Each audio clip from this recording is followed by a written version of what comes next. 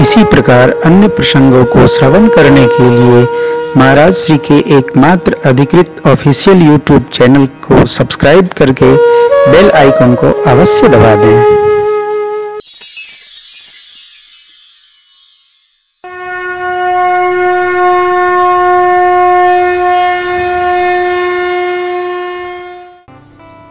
एक बार राजन कथा करने उड़ीसा गए। रात को मैंने फ़ोन किया, कहा हो कथा भाई? बोली, पानी पड़ गया तो कोई आया ही नहीं। हमने कहा, तू कथा करे गए थे कि पानी भराने गए थे? कोई आया, नहीं आया, आप तीन घंटे कथा गाने गए हो, कथा गाओ। तो व्यवस्था ही नहीं थी। हमने कहा, हनुमान जी के मंदिर में गाओ। कथा करने गए तो कथा करिए। कोई आएगा, जाएगा, ये वक्ता को इसका ध्यान नहीं रहना, कोई आएगा, नहीं आएगा। हम लोग पहले गाते थे तो कौन नहीं रहते थे। क्या करना? कथा गाने आए, नौ दिन कथा गाएँगे। हमारी माँ कहती थी कि कथा गाने गए तो नौ दिन बाद ही लौटना, बीच में आना मत। हाँ। जिसलिए गए हो, वो करके लौटो, यही साधना है। तो आप में से जो गाएगा, उसके घर में स्वयं मंगल वातावरण बन जाएगा। घर में महाराज बड़ी अशांति है, जब शांति होगी तो हम भी गाएँगे। ना, आप गाओगे तभी शांति होगी। शांति होगी तो नहीं गाओगे। गाओगे तो शांति होगी। आप गा के देख लो। और जहाँ मयमय हो जाता है, वहाँ शांति नहीं होती। मैं में शांति नहीं है। मैं में तो तो हो जाता है। तूने किया तूने किया। देखिए, जिसके जीवन में आवेश है, जिसके जीवन में आक्रोश है, जिसके जीवन में अन्यथा परिवेश, अकारण, उसके लिए कथा दवा है। दवा है। ये दवा खाइए, ये दवा पीजिए, आवेश आक्रम सब शांत हो जाए। ज़्यादा सोचने का काम नहीं ये मानस की कथा मानस को निर्विकार कर देती है।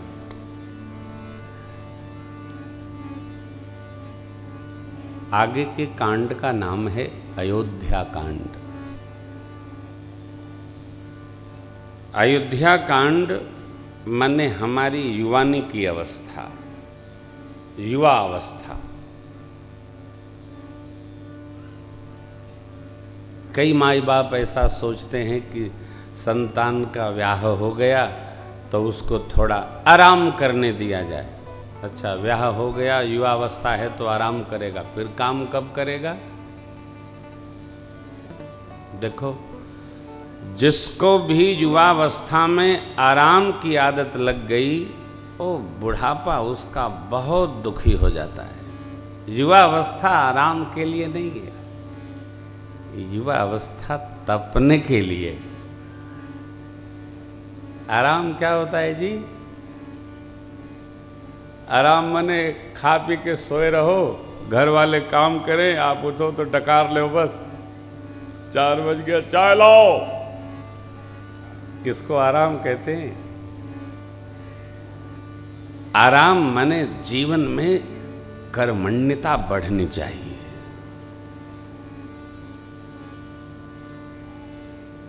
कर्मठता हमारा वर्ण करे, हम उसका न करें। कर्मठता आनी चाहिए। यहीं से अयोध्या कांड प्रारंभ हो। जब से प्रभु विवाह करके आए भाइयों समेत अयोध्या जी में नित्य नवीन आनंद हो रहा है। नगर के नर नारी सब गदगद हैं। सबके भाव यही है, राम जी ज्येष्ठ हैं, श्रेष्ठ हैं, योग्य हैं। महाराज युवराज पद पर बैठा दे।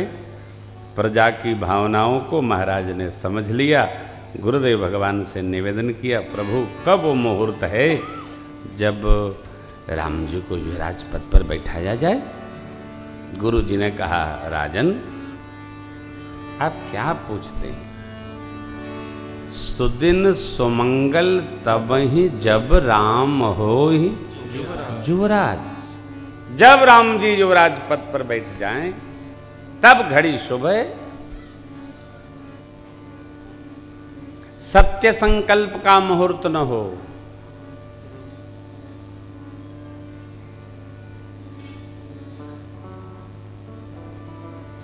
सत्य संकल्प कब संपन्न करना है, इसका कोई मुहूर्त विचार न करिए। जब आ गया, तब कर डालिए। नहीं तो किराए का घर है। कई लोग संकल्प लेते हैं और संकल्प लेते ही विदा हो लेते हैं। अब कोई योग्य हो तो संकल्प को पूर्ण करे, न हो तो फिर संकल्प साथ जाएगा, अगले जन्म में पूर्ण होगा।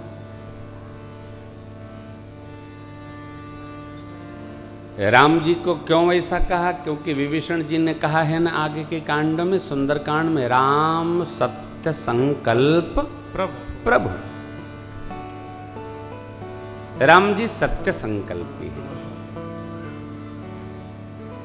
राम जी सत्य संकल्प नहीं लेते हैं। राम जी जो संकल्प लेते हैं वो सत्य ही हो जाता है।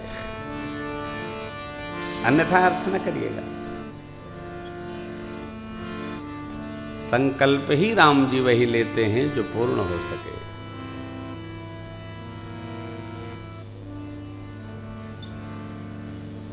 चाहे जो संकल्प नहीं लेना चाहिए, हम ऐसा करेंगे।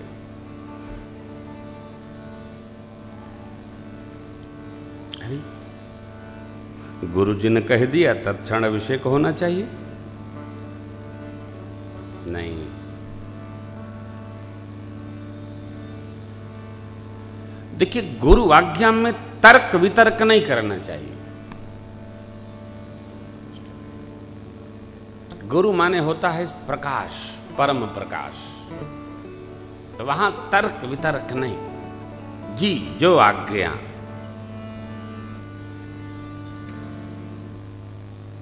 और जहाँ तर्क वितर्क है, वहाँ विचार आ गया। जब गुरुजी ने कहा था परसों की कथा में, विश्वामित्र समय शुभ जा बोले अति स्नेहमय उठहु राम, भंजहु भवचा मेटहु तार, जनक तो भगवान ने विचार किया, इतने इतने वीर लोग न तोड़ पाए, न जाने हमसे टूटे कि न टूटे। राम जी ने विचार तो नहीं किया। विचार करना हमारे श्रेष्ठ का कार्य है। हमारा कार्य नहीं है। मैं सभी से यह बात कहता हूँ, विचार करना अपने श्रेष्ठ के ऊपर डालो।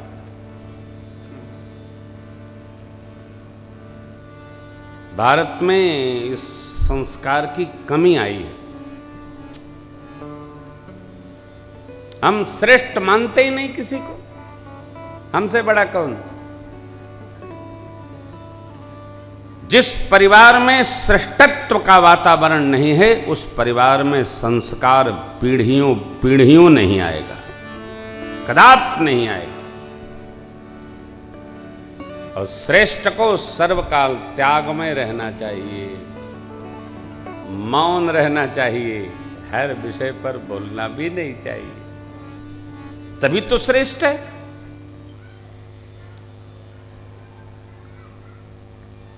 बड़ी अच्छी बात।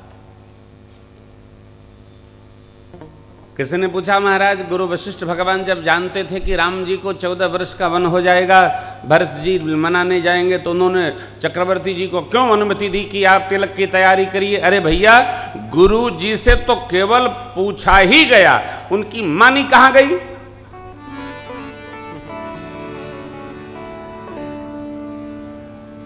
गुरु जी ने साफ़ कहा, सुन नृप जा सुविमुख पछताही जा सुभजन बिनु जरनी भयब तुम्हार तनय सोई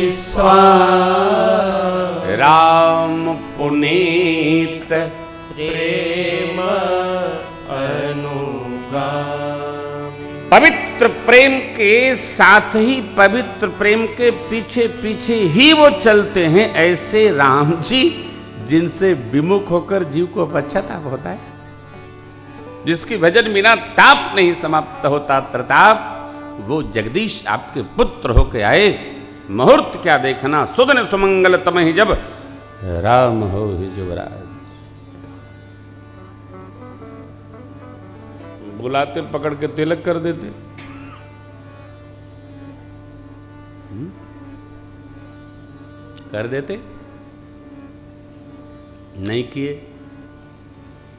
गुरु जी की नहीं मानी गई।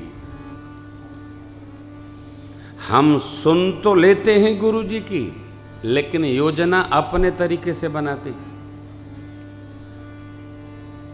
नहीं, ऐसा नहीं चलेगा। या तो पूछो मत, पूछो तो हर बात मानो। चक्रवर्ती महाराज नहीं माने, सो उत्पात आ गया। समय देना ही नहीं था, समय को निश्चय करना ही नहीं था। प्रातः काल सूर्य भगवान के आगमन पर उषा काल में गुरुदेव भगवान तिलक करेंगे। कई बार हम कथाओं में रहते, यहाँ तो कमल हम जो कहते हैं वो सुन लेते हैं, नहीं तो जो यजमान होता है ना, वो डॉन होता है, डॉन। वो ये चाहता है कथावाचक को हम जैसा कहें वैसा करें।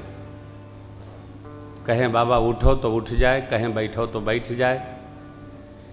बाबा दिन भर किसी से न मिले, तब तक उसका दामाद आ गया। महाराज, हमारा दामाद आया है। भाई, आप तो कह हो किसी से मिलना ही नहीं है। अरे, दामाद है ना? नहीं मिलेंगे, नाराज़ हो जाएगा। अच्छा ले आओ। अब बाबा जी अपना चंदन फंदन लगा के फिर बैठ गए, दामाद आया है भाई। तो जो यजमान होता है, वो अपने को डाउन से कम नहीं समझता है, प्रकाश भैया। और मैं मैं तो विचित्र कथावाचक हूँ। मैं अपने अलावा किसी की नहीं सुनता। पूरा देश जानता है। मेरे लाला को जो अच्छा लगता है, केवल वही करता हूँ मैं। किसी यजमान, फजमान की बात मैं नहीं मानता। मेरी सखा मंडली जानती है, उनको जो अच्छा लगेंगे, वही वो कहेंगे, वही वो करेंगे। राई बढ़े न तिल घटे।